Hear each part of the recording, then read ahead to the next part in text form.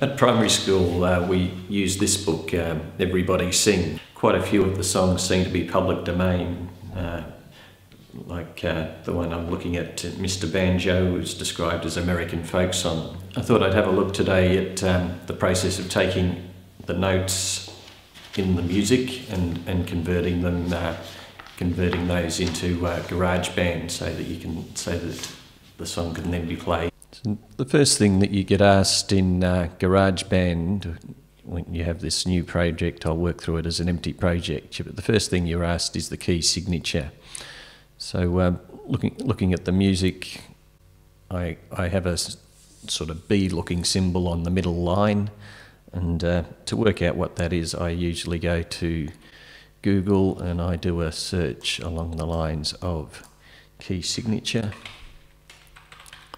chart. Yep. And from that, I usually get something that I can look at to work it out. Yeah, this one usually tells me, looks like a single B on the middle there is F major. So I can go back into GarageBand and I put in my F major thing. The time signature is 4-4, so I'll leave that as it is.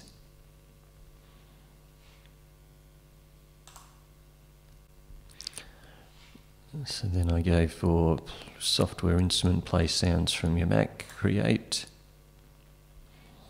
My approach is to press record and then press a single key and then press stop.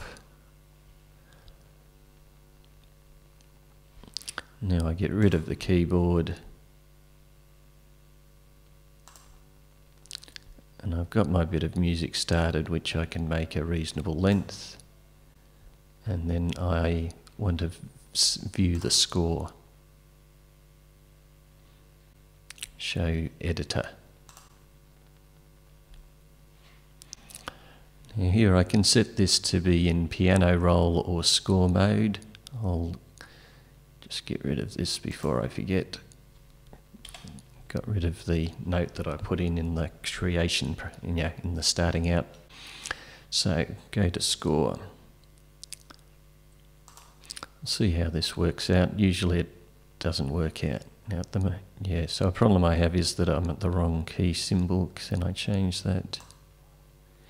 Yes, I can. I'll change it to this. Okay. Okay, so I've now got the correct key symbol. Okay, now I want to tell it what size notes that I want. So I'm wanting to put in an eighth note. So down for the time quantize, instead of a 1 16th note, I'll change it to an 8th note. Then I'll uh, I go and I hold down, I think, the Option key. No, let's try the Command key. Yeah, the Command key turns my cursor into a little pencil. And so I can put my first note in the correct position there. Fourth space, third space up. So somehow it got into the wrong place. I'll drag it a bit to the left.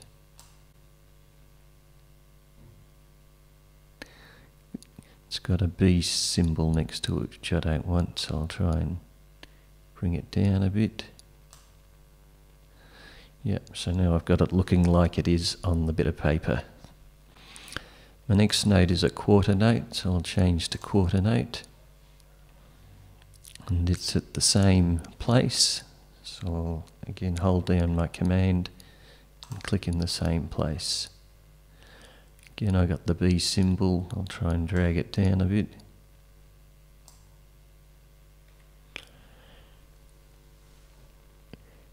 Okay, so it's there, but it's not what I want. It's not a quarter note. It's so I'll, I'll, go into piano roll, which tends to be easier to work with. I want this one to be twice as long as the second as the first.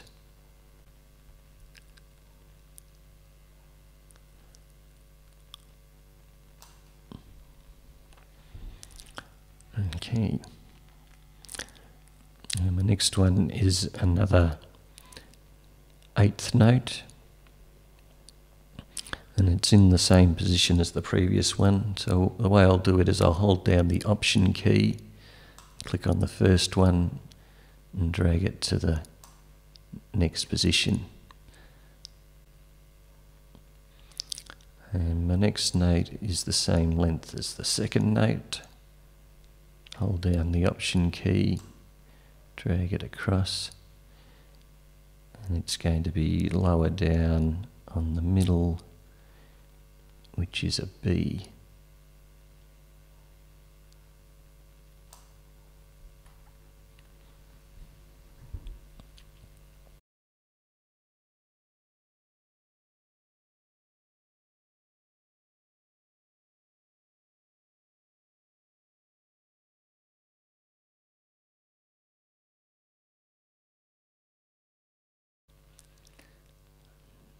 and then there's about a break to the end of that.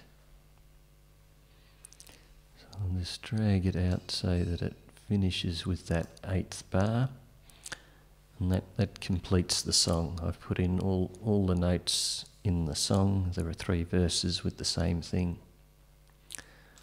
So now to see how that sounds.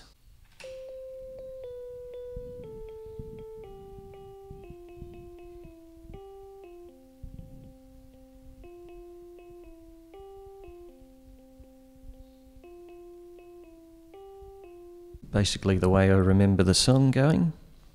I'll uh, see what the score looks like.